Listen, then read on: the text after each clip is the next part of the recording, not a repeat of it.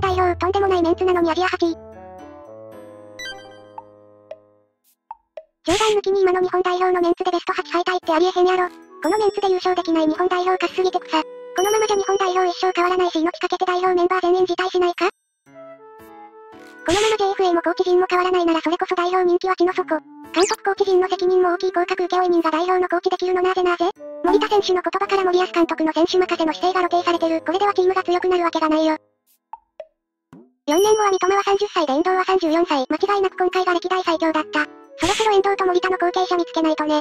海外で死ぬ気でチャレンジする選手に対して天下りのコーチ陣って歪な組織構造をどうにかしないといけない。長谷部ジャパンをまとう。